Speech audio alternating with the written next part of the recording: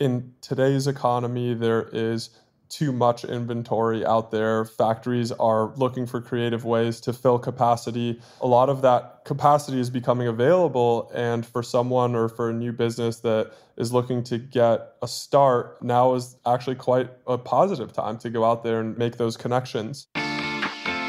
Hello, and welcome to Shopify Masters, the podcast powered by Shopify, your companion for starting and building a business. I'm Shuang Esther Shan. Ely Khakshouri has taken the road less traveled into business. He wanted to launch a bike business in Los Angeles, the city of cars, and he did so in 2009 during a recession, a time where many fear taking financial risks. Ely built his company, Retrospec, into a eight-figure business by working with retail distributors while selling directly to consumers, an unconventional move for most bike makers. Ely is here to share his business journey of building Retrospec, advice navigating the economic downturns, and expanding into new product categories. Welcome to the show, Ely. Thanks so much. Thanks for having me on, Shuang. Excited to chat all about your business journey. So, urban design and making life more bike friendly was at the heart of the reason for launching Retrospec. Tell us about these principles and why they were so important to you. Well, so I was a student at USC in the urban planning school urban planning is very much like a holistic study of what makes a city smart or sustainable in design. And a big part of that is transportation, you know, walkability and alternative modes of transportation. Essentially, the more a city is built for cars, the less sustainable it is and the less conducive it is to alternative modes of transportation. So, you know, my interest in bikes and how they fit into that ecosystem was just it was always there. Retrospec is you know is very much an urban bike company at its roots. So our problem that we were trying to solve was helping people travel short and medium length distances and with style on you know on a device that was both affordable and something that they would love and be really proud of and became a part of them. You bootstrap the business in the beginning and you launch it during a recession, arguably a time where people feel like they don't want to take a risk. What are some of the benefits actually of launching a business during an economic downturn? I usually get the inverse of this question, Shuang, because folks are usually like, why, why did you start a business when the economy was so tough? And what was really cool about starting at that time was that when other relationships that, that we needed to start the business and to get it off the ground, folks had time for us. And other companies were looking for opportunities to grow and to make up for lost business or slowing down or what have you. And that created an environment that was conducive to starting a business and getting you know the attention of partners when you're really small it's kind of also a full circle moment that we're talking about this now for aspiring founders who are thinking of launching a business now and they're a little bit nervous about the current inflation recession talk, what advice do you have for those individuals? Do it. so, my experience was starting a business during a time like this, and it has its advantages. You go back a couple of years and if somebody wanted to start a consumer products company during the supply chain crisis i would have said don't do it because there was just too many roadblocks. There's too many things from getting space on the containers to getting the space uh, you know literally like the warehouse space that you needed or 3pl space or you know even getting warehouse capacity production line capacity when all the factories around the world were over capacity and there was a consumption boom that would have been a bad time to start and today's kind of the opposite right? So in today's economy there is too much inventory out there. Factories are looking for creative ways to to fill capacity. A lot of that like capacity is becoming available and for someone or for a new business that is looking to get a start now is is actually quite you know a positive time to go out there and, and make those connections. Was there ever a thought because of economic downturn people during that time maybe were looking for alternative ways for transport? So maybe being in the bike business during 2009 was actually the right move? Absolutely. For our business the problem we were trying to solve was actually a smaller one. It was helping, you know, provide an affordable means of transportation for students. As I became a young professional and you know and needed something for commuting i realized that the bigger opportunity was affordable transportation for everyone during 2008 2009 2010 years there were periods where oil became very expensive and then of course like with paychecks kind of constrained and households constrained whether gas was more expensive or not people were looking for ways to save money and so bicycles fit well into that because it's a one-time cost so I think that our proposition, our offering was actually very timely for the economic downturn that we were in. So you were very scrappy with your finances, be it branding or manufacturing. Tell us about the early days of really making your finances last. So I started this company with about 8,000 of my own dollars. I never raised outside capital or equity. I still control the whole company and you know, we've only ever raised money since then via debt. So early on, we were extremely capital constrained. That meant that I had to wear a lot of different hats. One day I was on the phones selling and maintaining relationships with customers. The next day I was in the van delivering bikes to, you know, XYZ bike shop.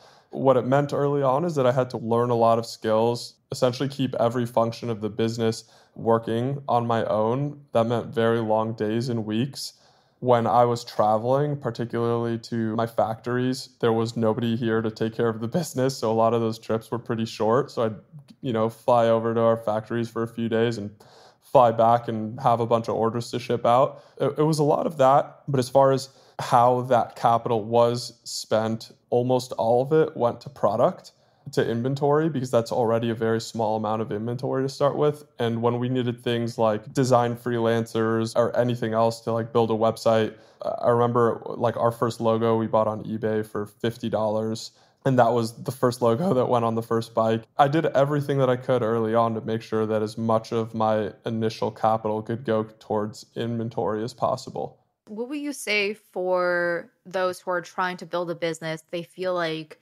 they need additional funding or they're nervous about the current economic environment and they feel like finances would be a challenge. So, to your point, in addition to bootstrapping, you also actually didn't raise capital. So, what about those later chapters where things do get more complicated and there's more moving pieces within your finances? There was an art to compounding capital you know taking that initial investment and making sure that we were making money on it and that we were able to take what I was able to make on the first batch of bikes and buy more on the second batch and continue to double down. I wasn't able to take a salary or you know or bring on other people because again any money spent on anything else meant that that our working capital wasn't growing. That's what we had to do in terms of like cash flow management. At that time it was a really challenging time to raise money. So I took meetings here and there, and, even though the business was doing really well, the options that were available to me weren't attractive. It was very important to me to retain equity, even if that meant growing a little bit slower at times and having some out of stock periods. That was a decision that I made, which in hindsight, I'm, I'm happy with that decision. When it came to being able to go out there and getting debt, banks typically require two tax returns and tax returns that show that you've made some money in those periods. So I had to wait until I was in business for a few years before I can obtain a line of credit from a bank. And you know, once you have that, you have a relationship, you have people that are somewhat invested in the well-being of the business and and the growth of the business. As we continued to grow, we were able to grow our our revolving line of credit with the banks as well, and that's really what's helped fund the growth of the business. So, really relying on your own growth and also growing at a steady pace that was manageable for your business at that time. Very much so. I'm chatting with Ely Khakshouri of Retrospec. I hope you're enjoying our conversation. And if you haven't already, please follow or subscribe to Shopify Masters wherever you get your podcasts and maybe leave us a review or feedback for the show. Thanks. So, for yourself personally, you don't have a industrial or product design background specifically, but Retrospec has a very cool vintage feel for the early bikes. How did you initially approach product design in that realm of the business? What I brought to that was a vision. I knew what I wanted the bikes to feel like, and I had ideas of what I wanted it to look like. I've probably developed the skill of articulating that in words better uh, over time than where I started. But I've always been a really big Pinterester. So I've used that as a resource a lot to build boards and and draw inspiration. So that's that's been a tool I've really taken advantage of.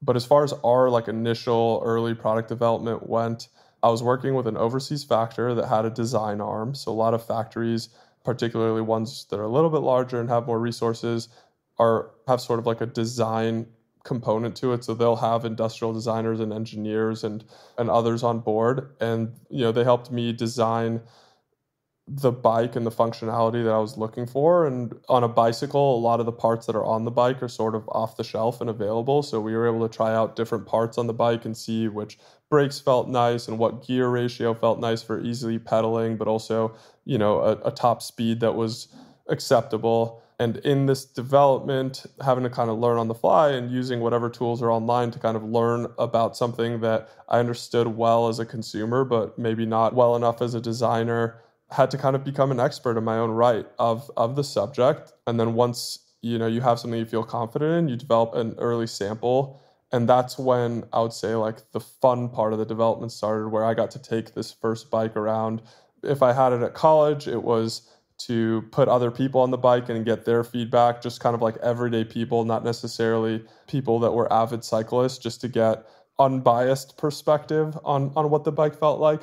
But i also drove around with my early on bikes to the bike shops in the area that carried similar bikes and asked the bike techs and other experts at the bike shops you know what suggestions they had and how they felt about the bike and what things i should be thinking of that i hadn't encountered yet and, and what have you and so it, it's a really like multifaceted development process it sounds like there was a lot of iterating of the product. And also, I'm curious to know what was that iteration process like as you moved from model to model? And on top of that, your brand is also growing at the same time. So, how did you iterate both the product and the brand to grow together? I would say the tougher thing was early on, kind of a stranger walking into a shop and saying, Hey, can you look at my bike and give me some feedback on it? But once we were in business, we had relationships. And along the way, especially as a 19 year old walking into a bike shop and saying, Hey, do you want to stock my bikes? You know, you start to have people that really uh, are invested in your passion, invested in your business, invested in your future success that want to help you. And so, as it came to expanding to other kinds of bikes or accessories or continuing to iterate and make the products better, just by virtue of having those relationships, you know, we were able to continue to make sure that the existing product was getting better. I think the equivalent to that online is sending out surveys and you know polling your social media community, all things that we do now and are able to kind of do with a little bit more scale than we do than I'm describing walking into a bike shop and having a one-off conversation using your existing audience to crowdsource information or feedback or, or criteria for products and actually what's really interesting about that now fast forwarding you know over a decade is that when we poll our social community of everyday people we often arrive at different conclusions than the feedback that we get from the quote unquote experts at the bike shops. And not to say that one is more important than the other, but it's actually really cool that we are able to have both. Mm-hmm. The duality of your iterative process. yes my assumption is you don't have that traditional production run relationship with a manufacturer per se because you mentioned you were able to have samples and also get feedback and iterate presumably before a giant commitment to manufacturing or production. Talk to us a little bit about the art of your finances your inventory and, and getting a commitment from a distributor or a retailer. In our industry most bike companies are not necessarily pre-booking a season or ordering bikes way in advance. A lot of bike shops are mom and pop businesses that don't really have like very advanced forecasting models or long-term purchasing plans. So it was important for us in order to solicit orders to have inventory available because we had to have the, the product ready for when there was a need it's more likely that with larger retailers that you'd be able to maybe solicit an order a year out. You know, if you're starting out and never sold a bike, it's probably unlikely that a larger retailer is going to place an order with you. So, for, you know, for our uh, business and for the industry that we were in, it was important for us to have um, that inventory in order to start participating in the industry because you were working directly with distributors while you also had a direct to consumer arm, it's something that might be a little counterintuitive for people in business because they might feel like the two sides are eating into each other or maybe they're not helping both sides of the business. Talk to us about why you wanted to have this approach yourself. When I started the business, there were I want to say like basically no bike brand selling bikes online. The bike dealer perspective on internet sales is that they are overly competitive or cannibalizing of brick and mortar sales.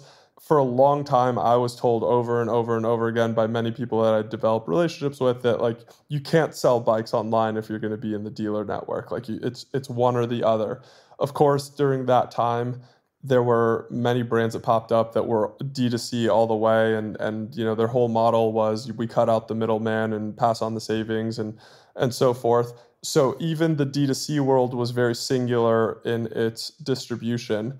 To me it was very clear early on that there is a customer out there that prefers to walk into a shop and touch and feel and try before they buy and that we had to be there and have a way for that customer to be able to do so. And there's another customer that really doesn't walk into stores anymore. They order everything online. And we had to have an offering for them too.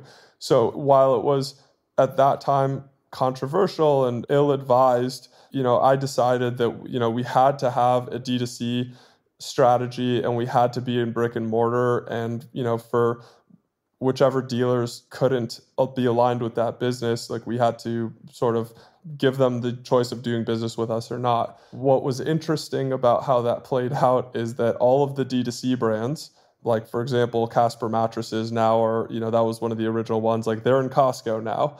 You know, they all ended up in retail and with a brick and mortar strategy.